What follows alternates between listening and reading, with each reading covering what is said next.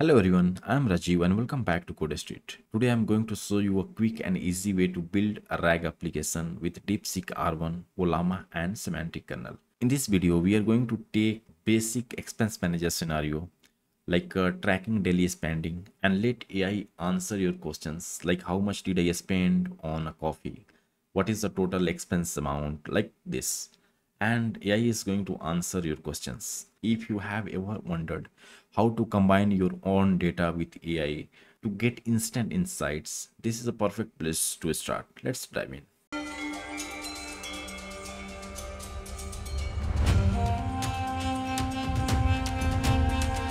So before getting started, make sure you are running Ollama and also you have DeepSeek R1 model installed on your machine. So you can see for me it's running and the sim can be validated using the command line. And here you need to try this. Okay. So you can see i have already installed this r1 1.5 billion parameters. If you have not watched my previous video where i have explained each and everything about how to get started with deepseek r1 along with ollama okay. So just do follow. If not and if you're already running then uh, we are good for the next step. So let's create the project. So again i'm going to create the console application and let's let's say drag. Okay uh the next and create. Let me just close this. So the first step is to download the NuGet packages. Okay so let's come here then manage NuGet packages and here we need to install semantic kernel. Then next one is kernel memory dot core okay? Install. And the third one is kernel memory dot ai dot. Oh, uh -huh. yeah this one we need to install now let's come here and start writing. So first let's import the namespaces. And then let's create a config. New ollama config. And here let's define the endpoint. And you know ollama is running on port 11434 and the same we can just verify. So you can see ollama is running okay perfect. Now let's write the same localhost 11434 okay the next one is we need to pass the text model. Deepseek okay so deepseek hyphen r1 colon 1.5 billion. Okay uh, make sure you are typing correctly okay because if you miss then you might get some error and here we can pass some max token. So there is a default value which is 131072 so the same i'm passing. 131072 and then we need to have here embedding model.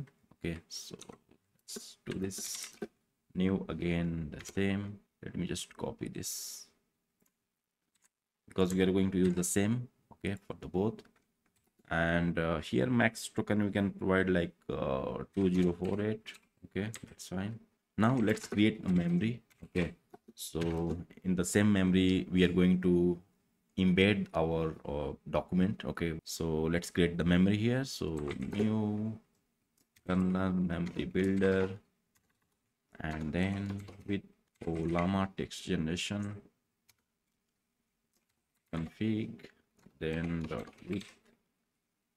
Ollama text embedding generation both we needed config and here we will be using serverless okay memory serverless.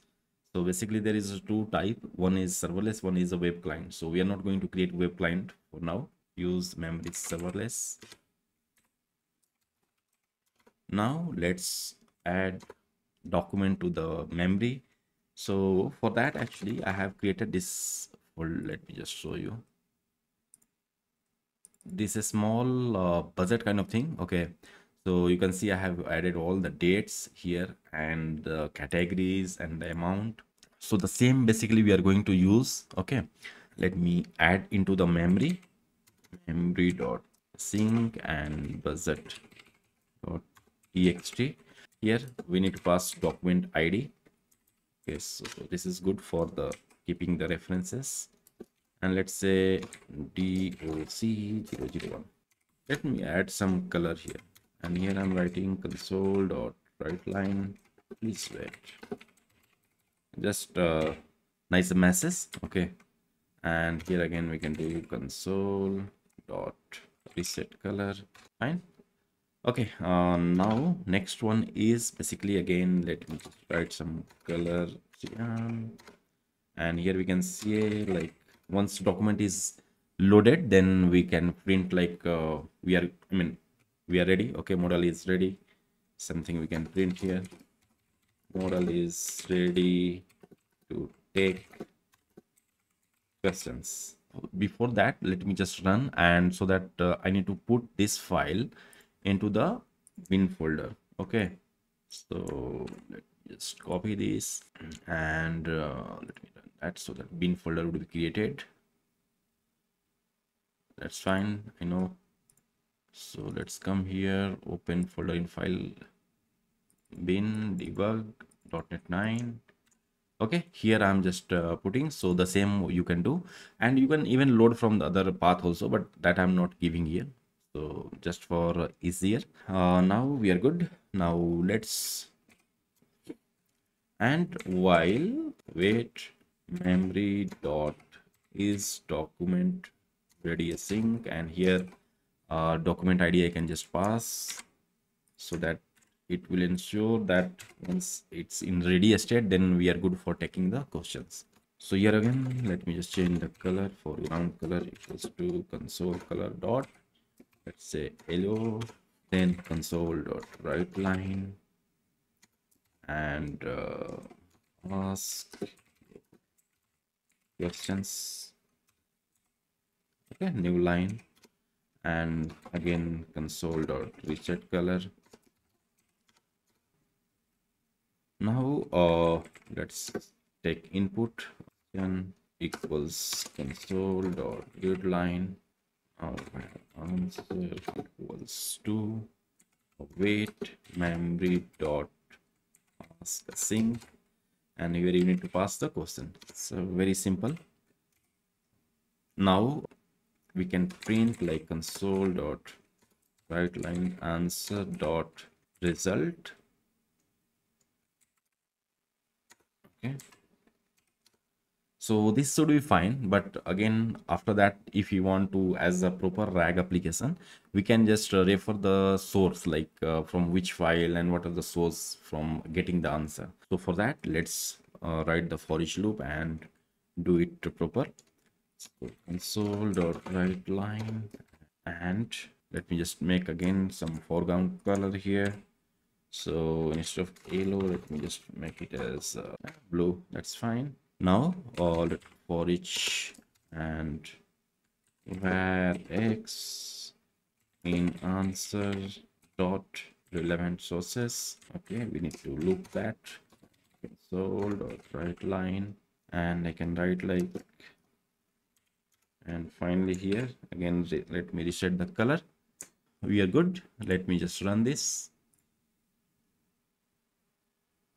Okay this nice message and we got some error. So error is no such host is none localhost to 11434 uh what's the spelling is incorrect?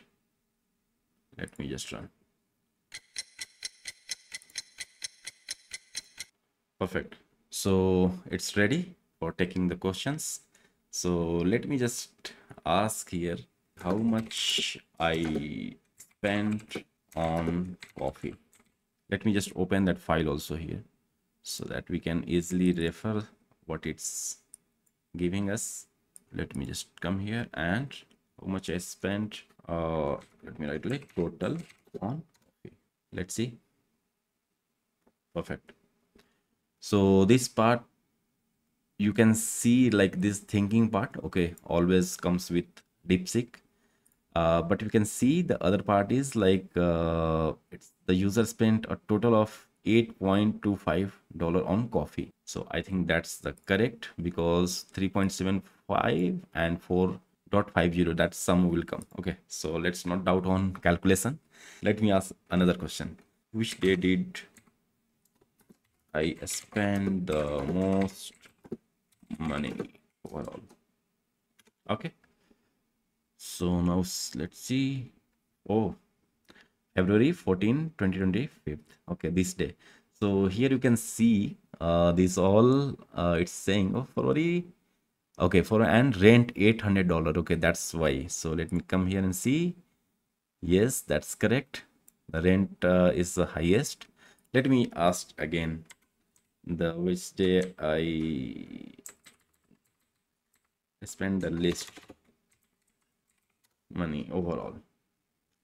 So yeah fab 16 and that day i spent only 40 dollar.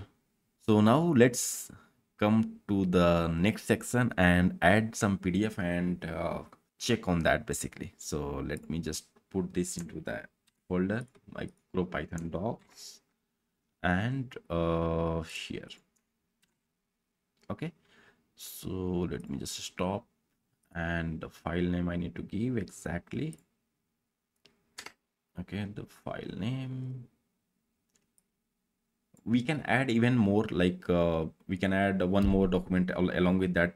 We can do this this way also like dot pdf and this one let's make it as a 2 and also uh, here this since this document is uh, 4 MB larger in size so let me just check with this one. If uh, both are loaded then we can ask questions. Okay so let me run now. It will take some time because it has like uh, now two document. One has uh, 4 MB of space. So let's wait.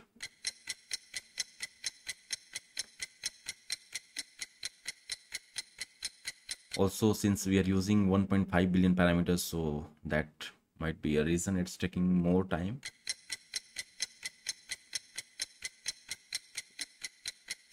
okay now we got so let me ask uh, what is micropython okay. Let's wait. Okay. Perfect. Now you can see the source it has been taken from the micropython docs.pdf okay. And here it's thinking and the things end here and now it's replying it's working perfectly fine. So that's all for today. Hope you like the video. If you really like then consider subscribing and sharing. And also i'm going to upload this complete project including the text file and uh, pdf on my buy me coffee page. So you can go and download from there. So thanks for watching. We'll see in the next video